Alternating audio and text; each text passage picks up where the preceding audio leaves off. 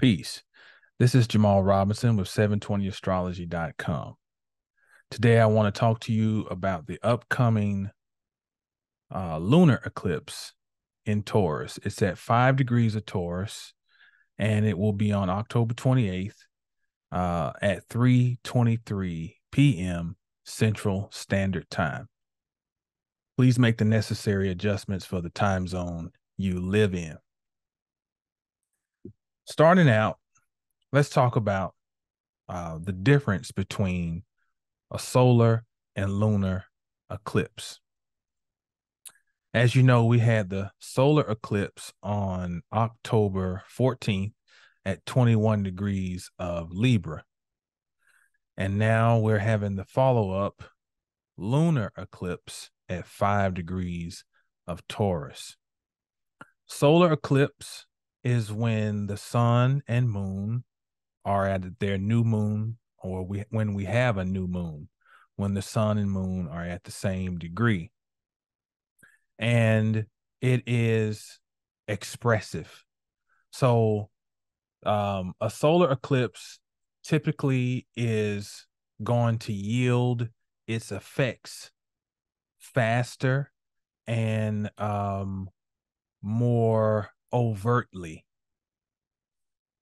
If you think about a lunar eclipse, this is when the sun and moon are in opposition, then it is going to take on more of a lunar nature, more subconscious, more internal, more private, slower developing because it's not something that is outward. So um, with this lunar eclipse, we're looking for prolonged effect of it. Whereas the sun with the solar eclipse is something we see uh, sooner and more overtly. Think about the word eclipse by itself. We're talking about something passing over and this passing over or the eclipse, the covering of something is almost like uh you know the old Hollywood I can't remember what they call that thing where the guy comes out and says take two you know the I can't remember the name of that thing but that's kind of like one way to consider an eclipse. This is um something that especially holds true for me with these uh the this set of eclipses we're having um right now with the solar eclipse and Libra and the lunar eclipse in Taurus and I'll touch on that later. Um but but back to the lunar eclipse which is basically a full moon on steroids. I want to talk about um, what that really means. The full moon, those who study astrology know that um, we typically don't want to have any surgical procedures during a full moon um, because the fluids in the body tend to swell or increase or inflame when we have a full moon and I'm going to read you some reference some literature here uh, to kind of help explain and support that statement. Um, so typically we we want to advise clients not to undergo some type of surgical procedure um, when the moon is waxing, and definitely not when it's a full moon.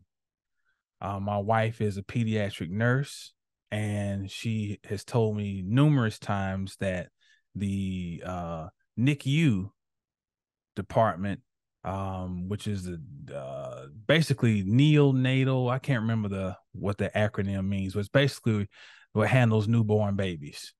Um, that childbirth, mothers coming in delivering, typically skyrockets during a full moon. And if we think about the whole thing about fluids, what starts the whole birthing process, the water breaking. So it makes perfect sense. So the full moon is a time of increased tension. And the the aspect formed between the sun and the moon is tense. It's an opposition. And so the full moon, I don't know if this camera will pick it up. It's like the there's a, a energetic uptick all over the planet. The surface of the waters all over the planet, which includes us as the inhabitants of the planet. And to that, I'll take a sip. So I want to read from two books. One is from a guy who was a psychiatrist. I don't know if he's still living. Um, Dr. Leonard J. Ravitz. And this book is Electrodynamic Man. I found out about this book by um, perusing the bibliography of uh, one of Steven Forrest's books because he references this book. And uh, this book is somewhat rare. I mean, you can find it, but it was really expensive a while back. I think you can get it for about 50 bucks right now, but it's called Electrodynamic Man. So this is not coming from an astrologer. And this is definitely, he doesn't appear to be a proponent of astrology, but indirectly, he is going to show the validity of astrology. And he really um, is inspired in this book by two guys. Um, one is Burr. Uh, let me see if I can find their names. I should have marked that page.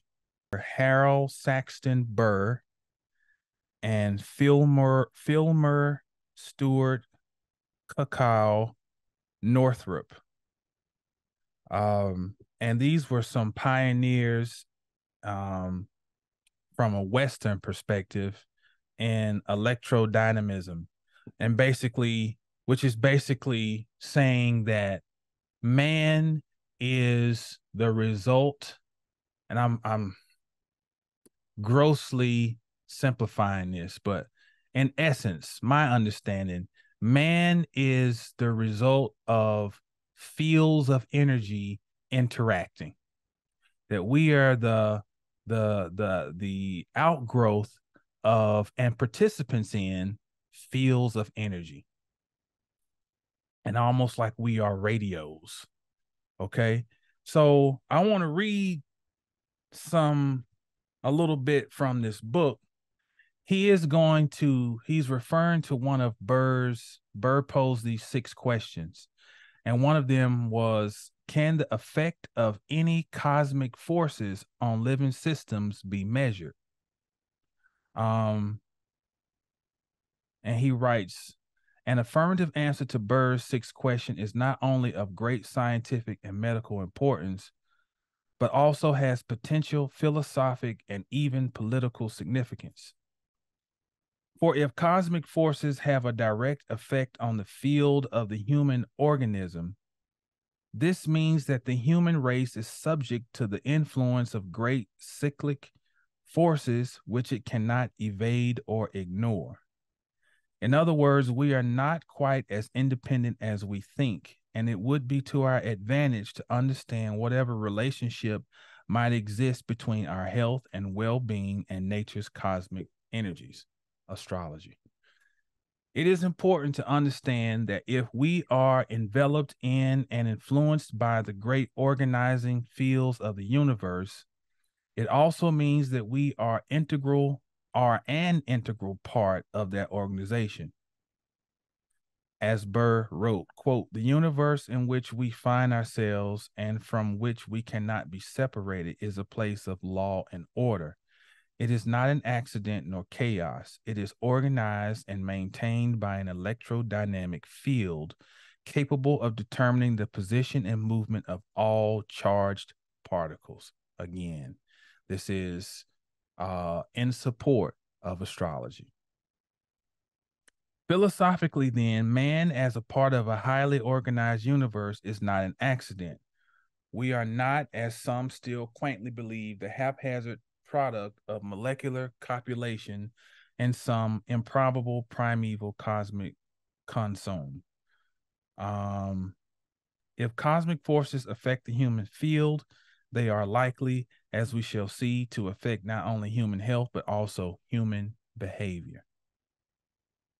Since cosmic forces operate in cycles, it is probable that there are times when the human race is especially subject not only to epidemics of disease, but also to psychologic disturbance and unrest, making civil commotion and war more probable. If this could be established and the cycles plotted, it would have great political significance and usefulness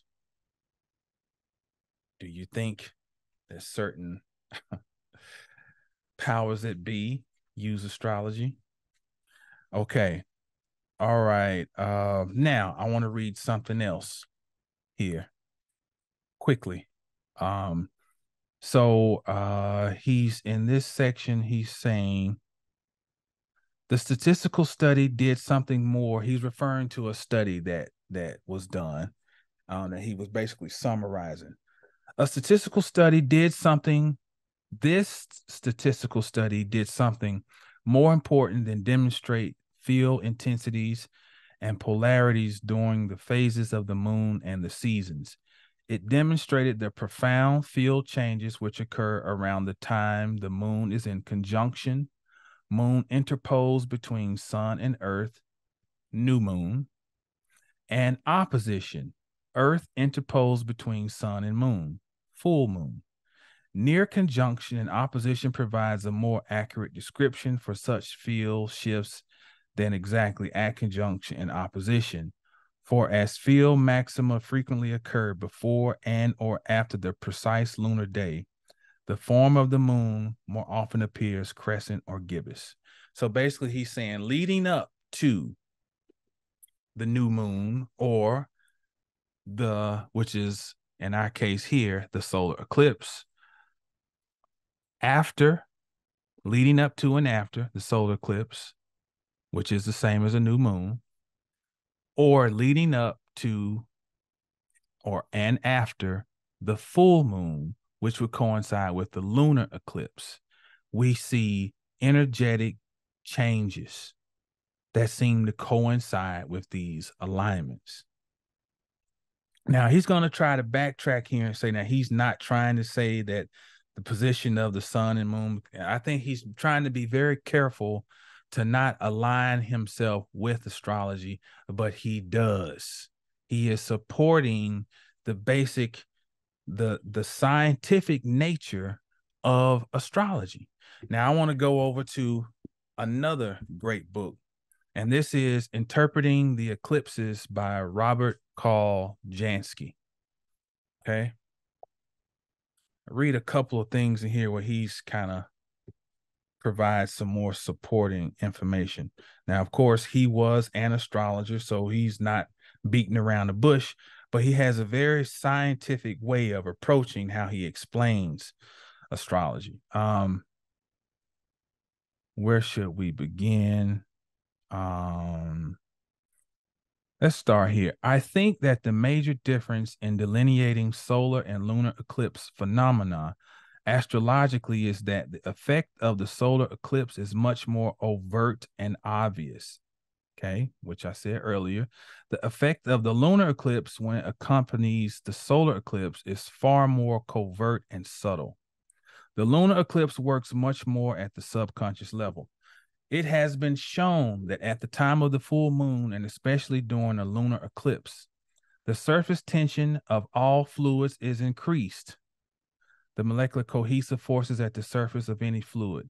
Because our bodies consist largely of water, this is this increase in molecular tension is bound to produce a biochemical effect upon our bodies. Furthermore, our bodies tend to take on and hold larger quantities of water during the full moon phase each month. The skull being the only area of the body that cannot readily expand with increased fluid pressure, therefore exerts greater pressure upon the brain cells, which ultimately affect our behavior patterns. That's key. This increased fluid pressure in the body also explains why there is greater potential of hemorrhage, um, which we touched on that already. Okay. Now, uh, so he that further explains the the physiological and psychological responses. Um, and there was something else I wanted to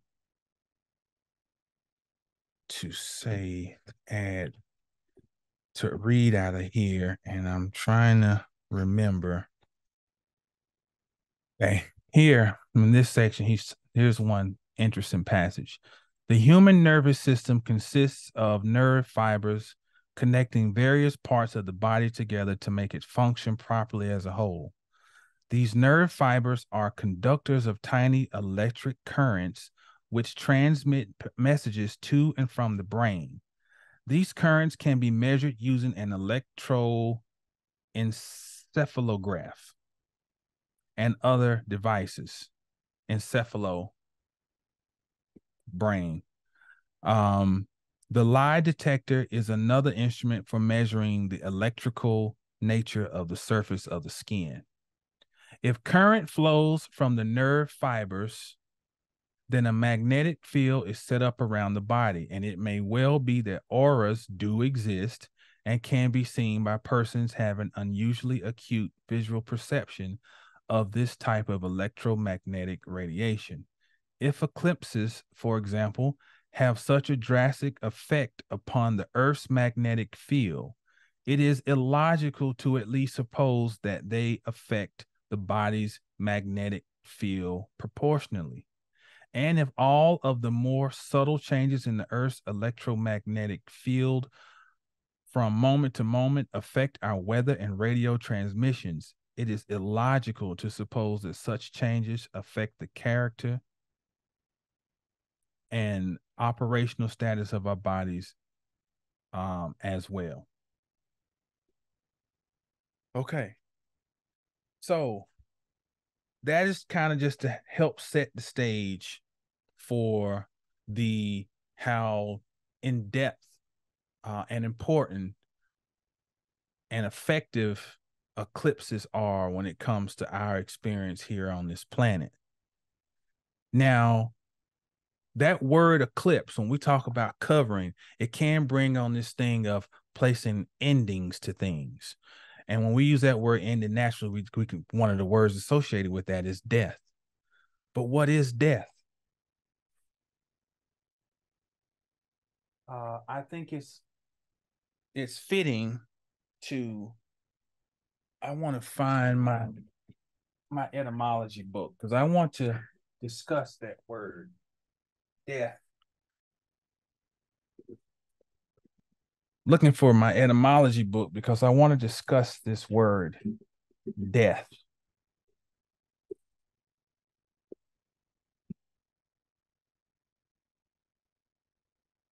And we'll look up the word die as it coincides with death.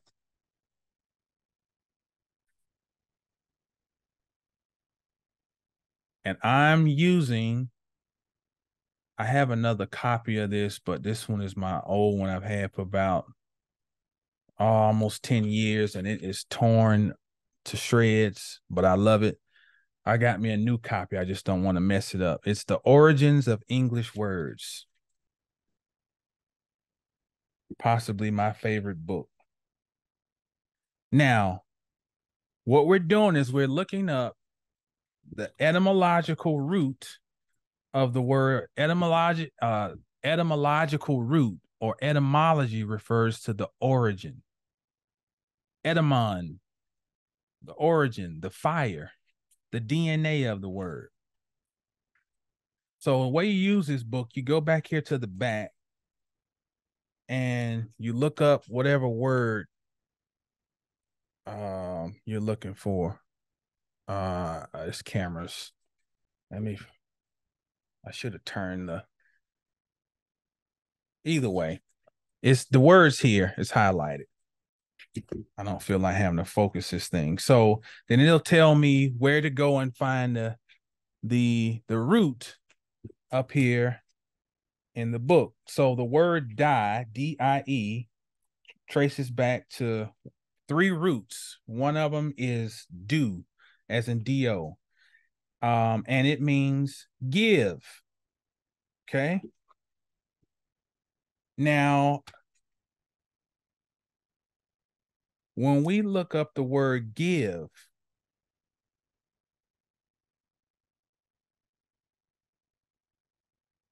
let's let's find the word give back here in the back of this book.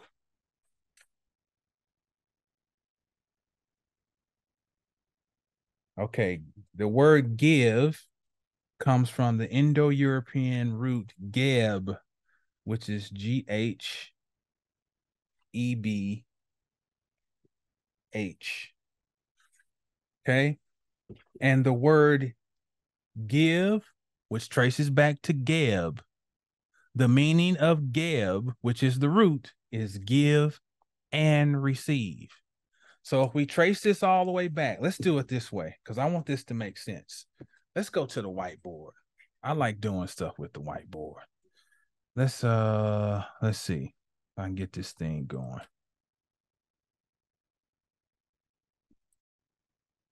Uh there we go. Let's go to the whiteboard. Okay. So what I did was I connected the word eclipse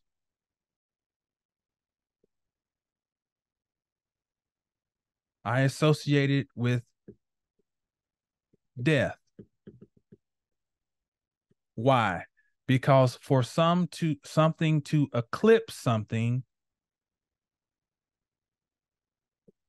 it is going to cover. Okay. And that that word cover can kind of bring on the feeling of an ending and that's what an eclipse does. It brings an ending to a previous cycle. Okay. But in bringing an ending, it also is a beginning. So maybe we can say an eclipse also has an energetic signature of the planet Pluto, which is the planet of transformation.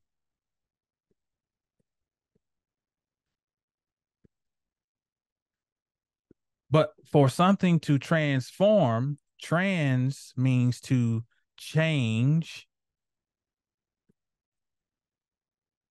or go across or move. So transform, form means to make. Excuse my handwriting. We're changing form or changing the way something is made. It's being made into something different. So that also encases the themes of death and life. Hold on pen's acting up.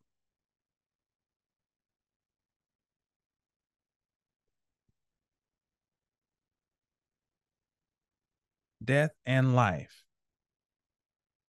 So, hope all this makes sense. We all started with an eclipse, which is a covering, and a covering also means an ending. But because it's covering and placing an ending to a previous cycle, it also is a beginning of a new cycle. Because it embodies both of those themes, it has an energetic similarity to Pluto, which is the planet of ultimately transformation. And transformation embodies the concepts of death and then life, ending and beginning. So that's why I'm even going down this road of looking up the etymology of the word die, which coincides with the word death. Okay. So erase all that. Okay, that's taking too long.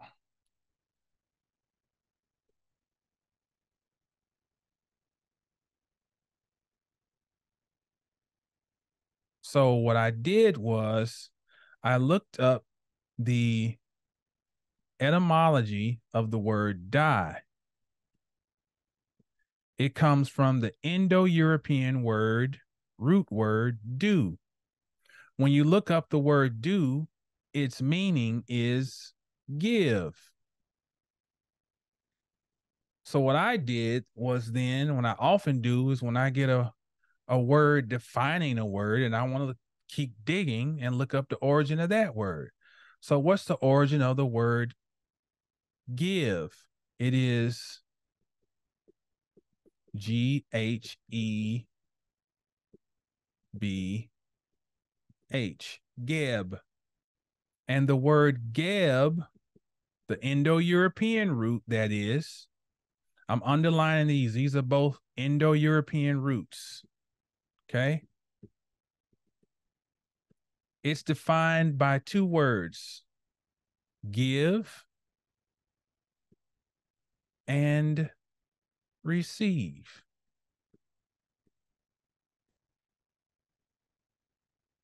And so I just use my common sense at this point.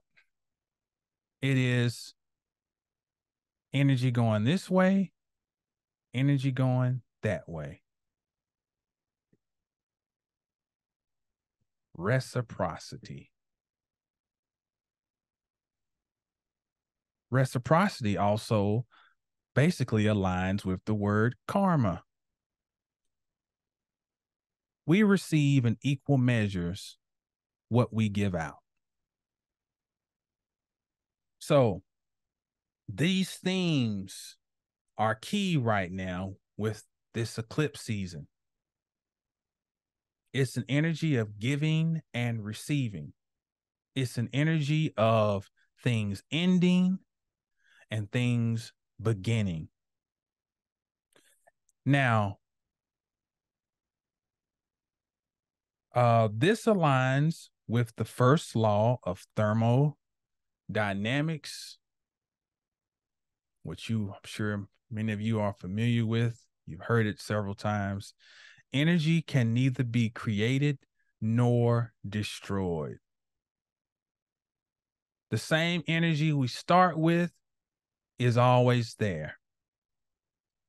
The same quantity, the same volume.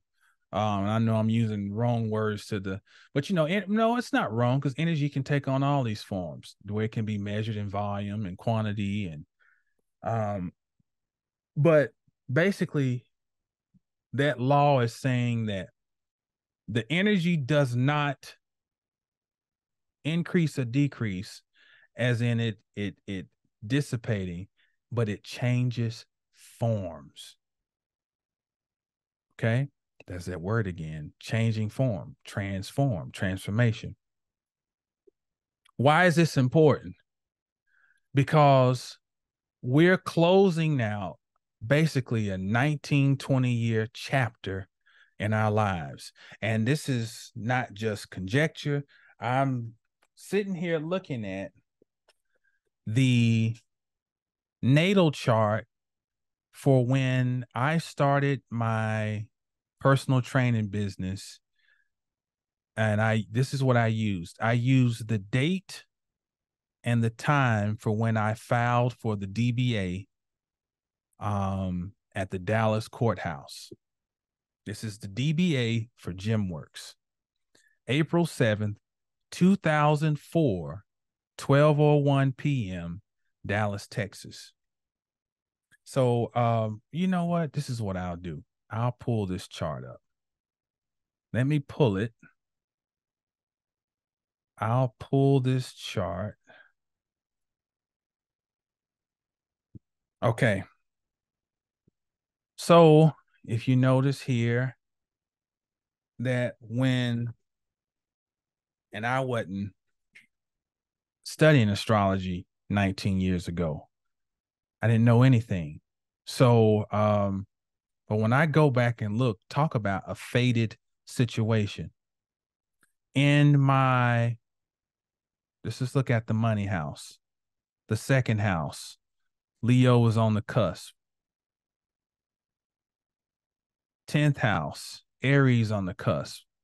So this was a great um, outlook for the success of this business because the ruler of the money house or the house of resources is exalted, which the sun rules Leo.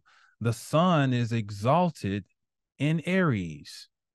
So there was not only a sign that financially this would be uh, successful, but also there was a chance for prominence because the sun was high in the sky at the time that this business was officially initiated. And I had a great success with this business. I, I did things, I was a pioneer of sorts, not in just a, in the area of fitness, because I was kind of late to the game, but a pioneer in how I operated my business. Um, people kind of thought within a box here, and they still do. Um, there are things that um, I launched and started during the time when when GymWorks was really rolling. Nobody's done it yet. They've they they still haven't um, duplicated it. But guess what? All seasons come to an end. All seasons come to an end. And um that happened with GymWorks. What's interesting about this series of eclipses is that um later this year 2004 there would be a um, solar eclipse at 21 degrees of Libra. But more importantly, the following April of 2005, there would be a uh, solar eclipse, total solar eclipse at 19 of Aries. And as I look back, what that was doing was it was closing out the first 20 something years of my life and it was opening up the doorway officially to this sun sign that was at 18 degrees of Aries when I filed the DBA. That eclipse in April of 2005 opened the doorway to this new life that was coming. And I mean, it was it was an adventure. Okay. So the the business first began to fail in 2011. 2011 um,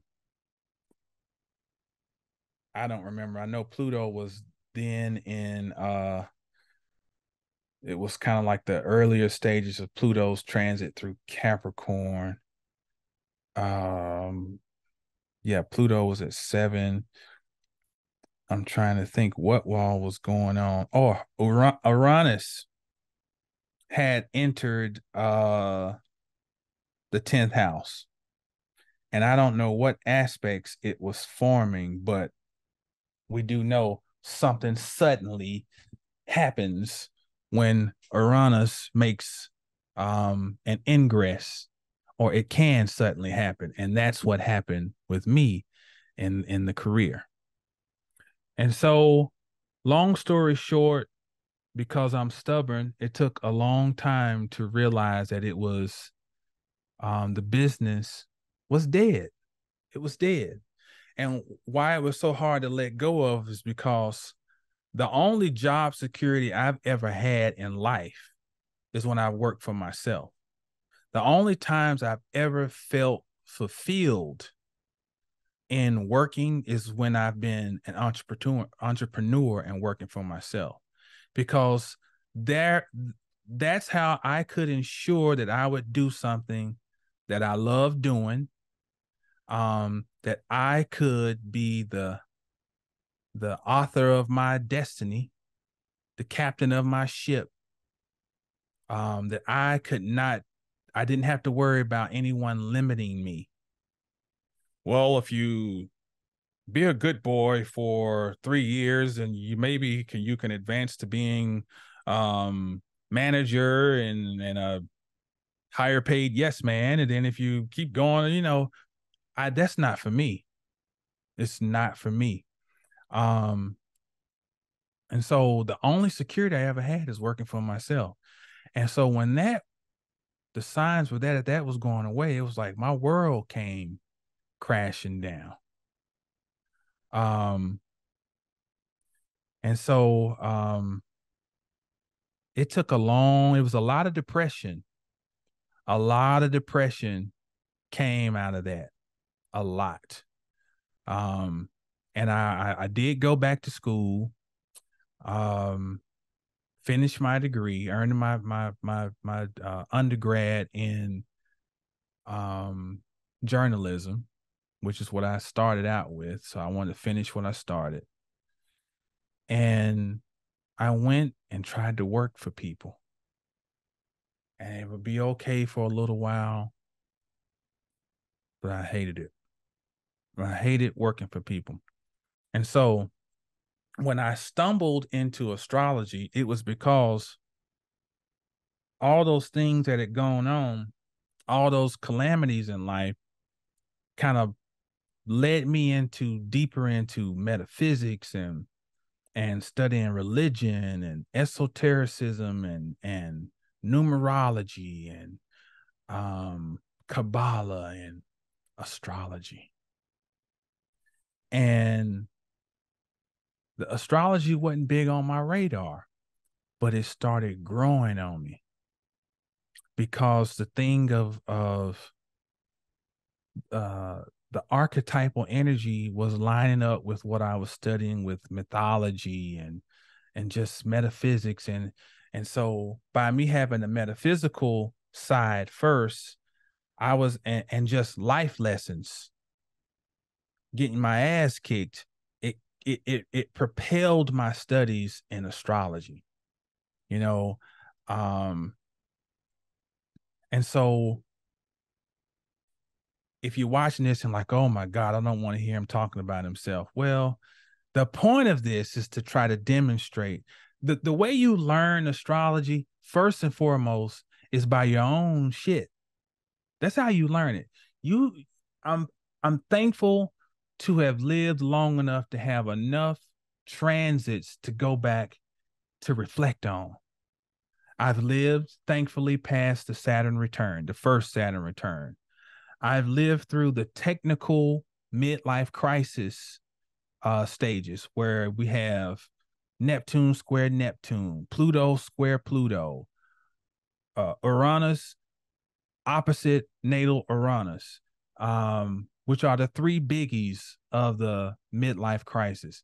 I'm thankful I've lived through that. I've got these experiences to, to recall. And that helps me with my clients because I'm I've always was the the runt growing up where I was normally the the youngest one in the group, but now kind of long in the tooth. I'm I'm talking to a lot of people who are a lot younger than me these days and some who are a lot older. But I have enough life experience to reflect on to have something to offer literally clients from 18 to 80 because that's what my clientele spans that wide range and so that's why I'm telling you all of this. When you can look back and reflect, that's the best way to study astrology is reflection. You study it best through your rearview mirror. You know, as much as we're told, don't look back, don't, well, is there something good sometimes about looking back? Not looking back with regret, but looking back with curious, childlike, learning eyes. So I'm going back and looking and like, wow. So in April of next year, 2024, we have that solar eclipse happens, total eclipse happens again at 19 degrees of Aries. So now my the spidey senses are going. So that eclipse was opening up that that particular chapter of life. And this upcoming eclipse, one way I see it for me is it is closing officially that chapter of my life. But because energy does not, it cannot be destroyed, it can neither be created nor destroyed. Then basically, what's going on is I'm eclipsing the identity that I had associated with the, the the root energy. The root energy that makes me up is a desire for learning, a desire to be great, a desire to help other people be great, a desire for transformation, um, a natural desire to teach, a natural desire to help people become the best version of themselves. That's what made me so so successful in GymWorks. That does not die. That is the energy that moves on from the past uh uh space and time 204 to 220 to 224 that will be carried on into this new who knows what is to come.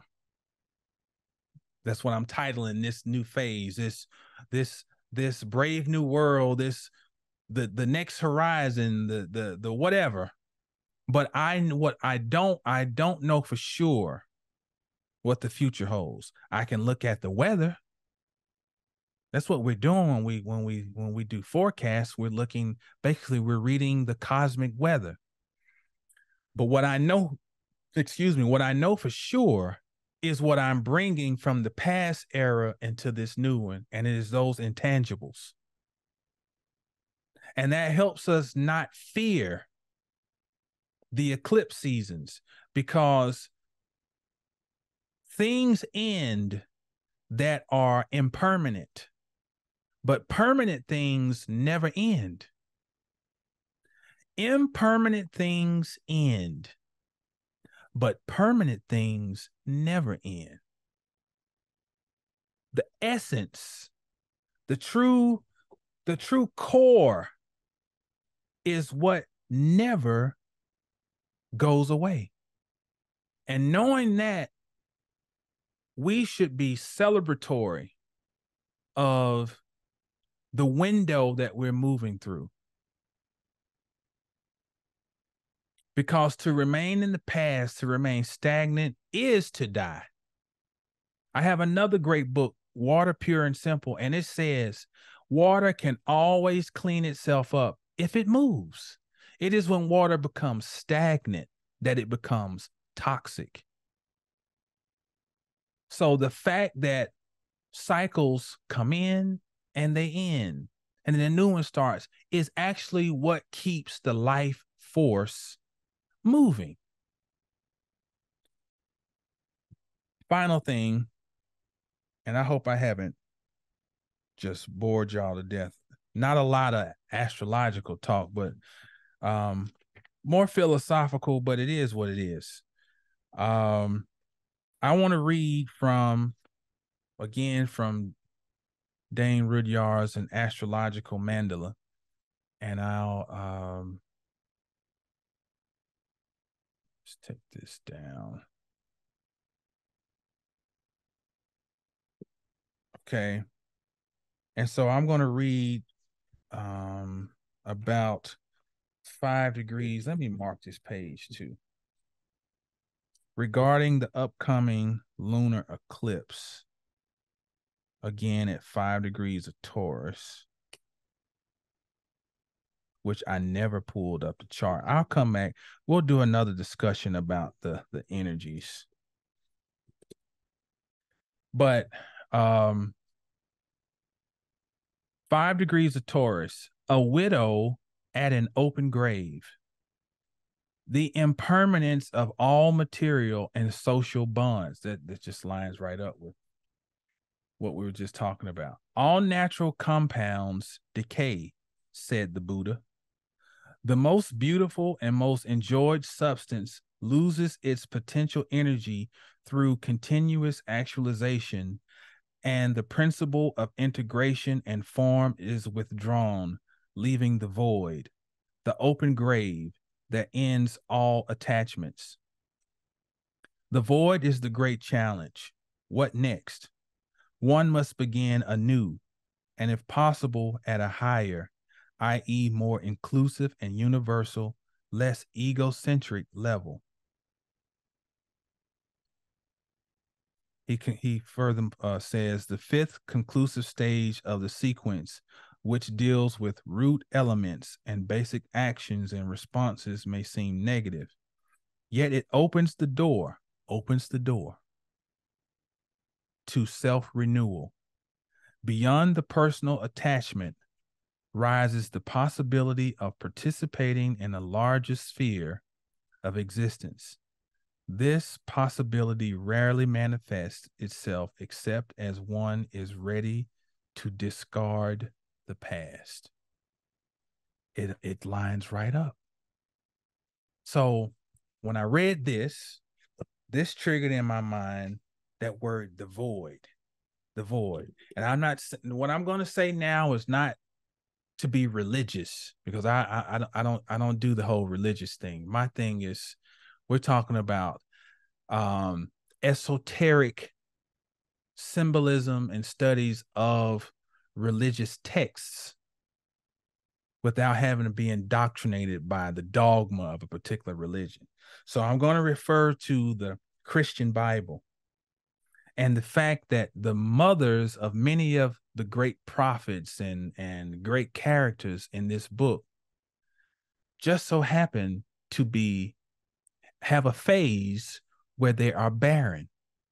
And if we think about the word var- barren it coincides with the word void.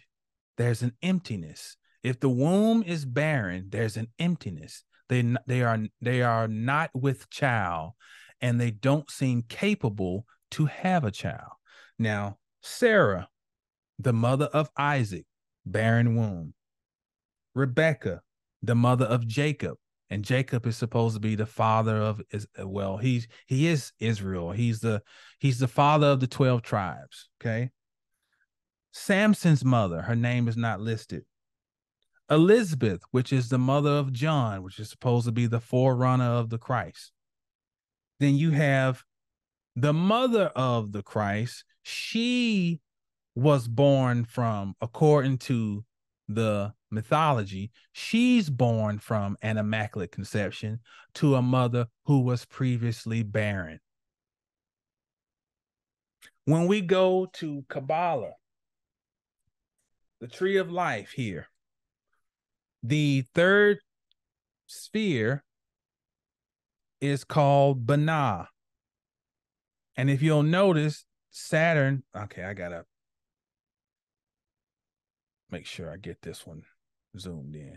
Sa- Saturn is the sign or the planet associated with this third sphere. These are called the the um supernals. Okay, these three, top three of the tree. Okay, the word understanding is associated with it, but also in other versions of the tree, we have Amma. And Amma means, refers to the barren mother. Now, if you think about Saturn, the time of year that it rules, or the signs it rules, and the and the time of year associated with those signs, it is when the earth is appears to be barren the earth has withdrawn, cold, not producing life, not producing vegetation. Okay. Even the word Amma that's associated, you know, the barren mother, Amma. Just look, look, let's look at that word. How what our mouth has to do to form it. Um ma. See, these are uh this sound um it's called a bilabial. Um ub. That's why some of the first words are mama, baba.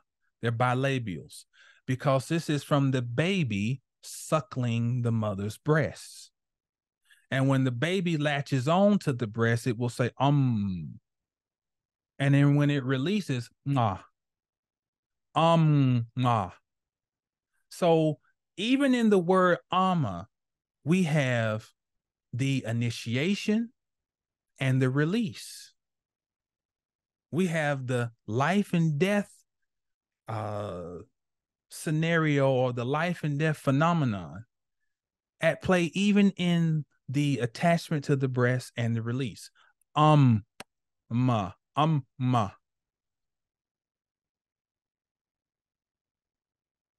This barren concept is preparation. There must be a void and emptying before there can be reception. The vessel must be prepared to receive. So there's a lot of fear being pushed right now in the world. Ultimately, this is how I look at it. Have you been doing the work? What type of work have you been putting in? Have you been toiling? Maybe, just maybe, possibly, this is a window that is opening up for reception. And especially as we go through November, where the, the, intensity just keeps picking up and picking up and picking up. October has been an intense month. November, the intensity continues, especially culminating on the 12th, where we'll have Mars, oppo- uh, Mars opposing Uranus, which is going to be the closing square. The uh, no, no, no, they're in opposition. I'm sorry, they're in opposition. I'm I'm going too far uh, about to say closing square, but I misspoke. This will be the opposition point where things can suddenly break, where there can be catastrophe. So, in the midst of the world where all this is going on and there's all this talk about war and this and that, what's going on in your world? What work have you been putting in? Because be mindful that Saturn is in Pisces. And while Saturn in Pisces can promote a lot of fear, it also can be magical. I'm coming back with a video about that. Magical. What would you imagine to exist in your reality? That juxtaposed to what work have you been putting in? I'm expecting some miracles personally because I've been putting in the work. Been putting in the work. As always, I'm available for private consultation through my website, 720astrology.com. Know the stars to know yourself. Peace.